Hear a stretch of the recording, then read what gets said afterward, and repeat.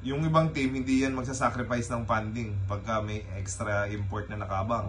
Yeah, good luck guys. Upcoming season. Um, too bad wala si Justin. Iba ka? Grabe. Iba ka magnakaw ng halik. Ay, si CJ Perez yung may gusto. Oh. Si Jutmar, susuntokin. Akala ko susuntokin ni Jutmar. eh. Nakita mo, di ba? PBA Moto, PBA Moto Club, PBA Moto. Jay, kilala mo yung ano? Tony Bishop? Hindi. Hindi mo na pala nabutan yun. Yun daw yung papalit kay Brownlee. Ah, yeah, yeah, yeah, yeah, yeah, yeah. Kilala What Yung taga Meralco dati. Ah. Justin Brownlee testing positive for THC. Have you talked to, Ju- to Justin? Do you have any idea where that THC probably came from? Um, you know, well, tr- first of all, it was yeah, it was it was a real shock. Uh, you know, we didn't know anything until a couple of days later after we had returned to the to the to the country, and and uh, um, you know, I, I remember we were having uh, the post game dinner, and we were all waiting for Justin and Calvin to come to the dinner because they were left behind at the stadium because they were the ones selected to be uh, randomly tested. And uh, so we waited a couple hours, two or three hours for them to, to, to show up. Um, but we had no clue that anything was going to happen at that point. Um, you know, yeah, I, I don't know where it could have happened. Um, you know, I mean, uh, it, it wasn't a, a performance enhancing drug. It wasn't a PED. Uh, it wasn't an anabolic steroid or anything like that. There's no way that he can bring that kind of stuff into the country in China because you're going to get in trouble trying to do yeah, that. yeah, of course. So the only thing we can think of is that it was done way before. We understand that kind of stuff leaves stays in your system for quite a while. So the only thing we can think of is that it it happened way before he left for for China. And again, it just it, it kind of blows our mind. In the meantime, uh, we have you know we have searched out another import. We we're bringing in Tony Bishop, the uh, ex Morocco import that we played against in the finals. Okay. Uh, a couple of years, uh, a couple of years ago, uh, he was just about ready to go to Mexico to be an import, but we caught him just in time, and, and we got him to come on over for us. So I think he's arriving either tomorrow morning or in the afternoon, and uh, and we'll get to practice with him on Monday. Knowing Coach Tim and Boss Al, I'm sure yung mga pinapalit nila capable, di ba? Oh, of course. Magaling din yan. Tony Bishop. Oo. Pero knowing na kinuha ni Coach Tim, Oh, for sure. napabilib siya, no? Oo, magaling yan. Bishop, oh, that's a nice move. Gets it to go. They have a new shot clock. Bishop now will try. He'll spin. He'll take. Yung fouls na nagawa niya within the first two minutes of this game, he's been able to preserve himself. That's only his third. UE eh. Bishop on the move. Ganda naman ang galaw and the late reaction from the red shiny. A chance to get 17. So at least thus far, might be what the doctor ordered at least, uh, for, for the first uh, quarter and a half. And Maralco anticipating actually a roll from Brownlee or even a pop on the pass back by Tenorio. Tony Bishop. One man attack. He gets the basket and the foul. Tony Bishop picks up the steal on one end and then races the court, attacking the defense. Pumulot pa ng foul mula kay Rafi Rivas and he will be taking the bonus. Jason Costas, first attempt at conversion. We're down to less than five minutes. Long distance shot. Absolutely. Yung leadership talaga rin ni L.A. Tenorio, di matatawaran.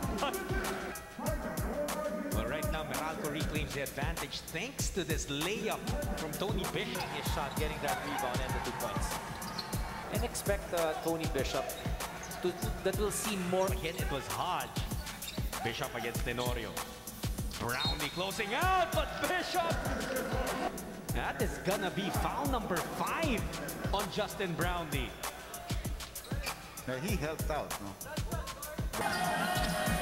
Pinto, left it for Bishop, elbow J, pasok na naman yan. Seems to be his favorite pass, as you said. And everybody thought he was going to take it, eh, di ba? Si Valoria, because he hit one earlier. Ito yung Tagdig yun sa quotient. Laking bagay ng twice to beat sa twice to win, ha? Difference of making it to the semis. a statement that uh, he may be the import yardstick in this conference. Hard. Here's Bishop. Fires of 15. Oh, pumasok! Baka natulungan ng tapik ah. Oo. Tony Bishop now with 31 points. Chauka is down to two. What's he gonna do? He has to put it up. Oh, he's blocked up there. Wala, couldn't Ako create may that tanong ako space. sa'yo, Charlie. In the same quarter, Bishop answers back with a three. Remember, TNT does not really like to run with the ball. They're only number eight in fast break points. Bishop. Here's Bishop once more. Good luck guys, upcoming season. Um, too bad wala si Justin. Sana ano, makabalik siya soon. Sayang yung ano, yung years niya. Parang ano, parang ibinaba yung sanction ng 2 months. Ayun. I think ah, I'm not sure, parang kasi sabi ko nga sa'yo, yung nababasa natin sa Facebook, hindi yan palaging tama. Mm. So, kung yun yung, kung 2 months sana, much better kasi sa 2 years. Oo. Grabe naman yung 2 years. Pag interim kasi ang tawag, interim import, Ah. anytime pwede palitan ni Justin. ah. So, Eh paano kung ano yun? Kunyari, puro siya 40 points a game tapos panalo pa. Pati yung papalitan siya. Hindi, for sure momentum yun eh. No, Coach Tim Kuhn, alam niya yan, pag momentum, o stay put ka lang dyan. Ito ang advantage sa Ginebra, unlimited yung funds. Kumbaga, sisweldohan niya si Justin Brownlee kahit naglalaro pa rin si Tony Bishop. Ah. Hindi kagaya ng ibang team. Right? Ah. Alam mo yan. Yung ibang team, hindi yan magsasacrifice ng funding pagka may extra import na nakabang. Ah, ilang teams lang naman ng kaya nun eh. Oh, konti lang yung team na capable. And sa PBA, may advantage kung may funds yung team. You believe that? Of course. So, good luck sa former team namin, ang Hinebra Kings. 900 ng ano, GS na. Bago? Boss Ramon, baka naman. Yung panglaban na sa Ducati, ano, yung Desert X ba yun? Ano? F, F900 GS? Oo. Wow, that's nice. Dami lang lumalabas na ano eh. Bagong motor. Meron din na ano na M1000 XR. Ito yung sasabi mo kanina.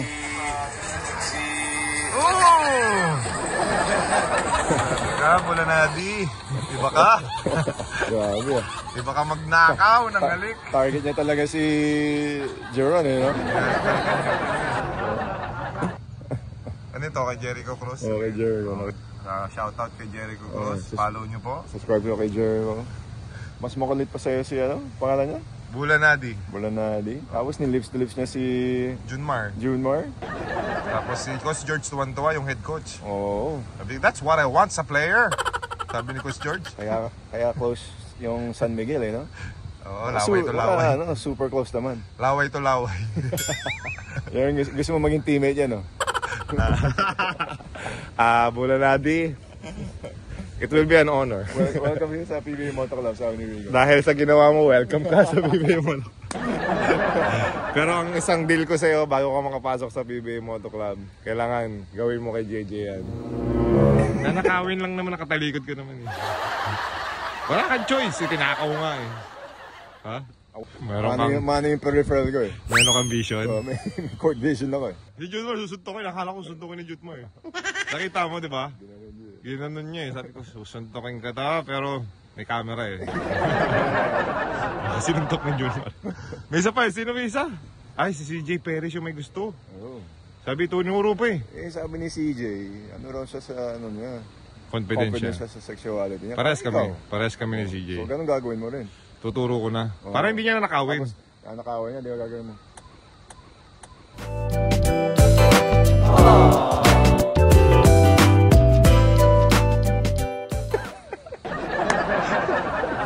Timer, no? Kunyari, yung not paying attention. Alam mo, tipong mga kasama mo sa, di ba pag nag-shower tayo, minsan eh, shower, shower, shower, tapos walang cubicle.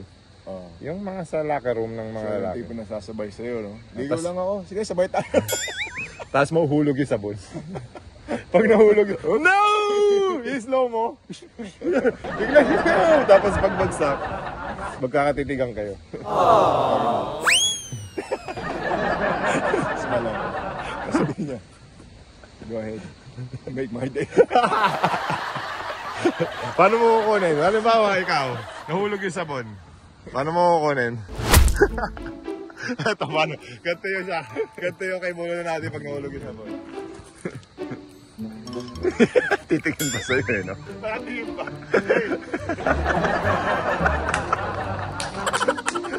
Ah, Bulo natin, nagkakatuwa lang kami. Nakakatuwa kasi yung ginawa mo sa, ano, team building siguro na yan.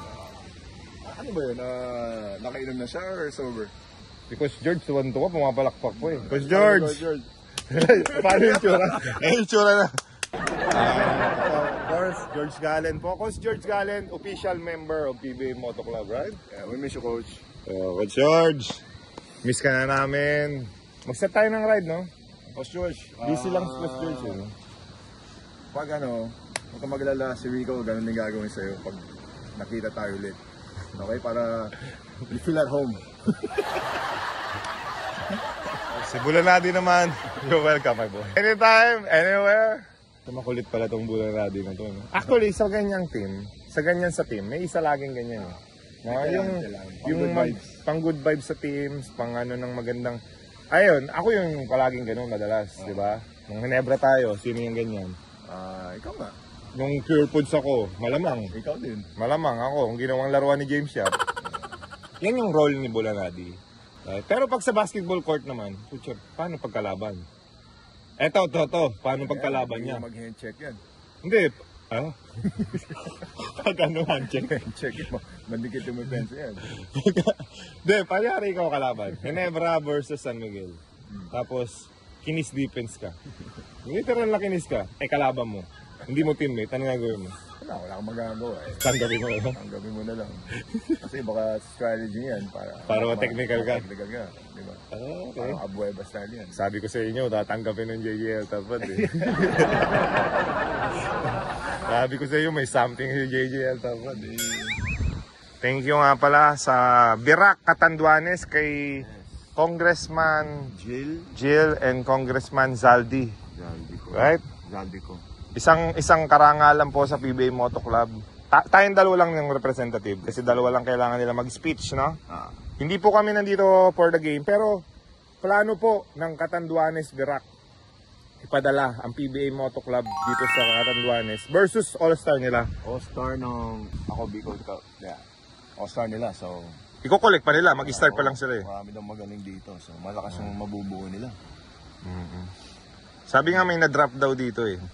Nakalimutan ko yung apelido ng PBA player. Na-drop daw pero nasa pang 9 So hindi yata na-sign pero syempre ganyan naman sa life ng basketball natin eh no.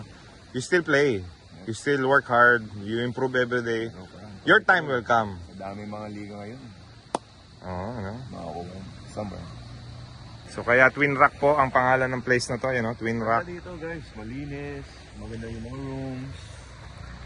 Ah, kanina nag-budol fight, ang sarap ng pagkain. So pag bumalik tayo dito, dito na tayo mag-stay. Pwede, Dito yung tayo mag-cone hold dito.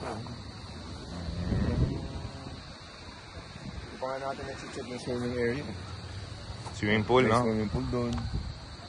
Parang may party dyan mamaya eh, no? Parang or concert eh. Oo, parang may concert. Mamaya punta kami dyan later. Tambay kami dyan. Ayan. So, there you go. Um, abangan nyo, puntahan namin imingle natin yung mga kababayan natin dito. Mga ka-amazing natin sa Birac Catanduanes. Yes, see you guys mamaya. Amazing. Can't nobody see me when I ride, that's the truth. We be breaking ankles all the way to you. Throttle wide open,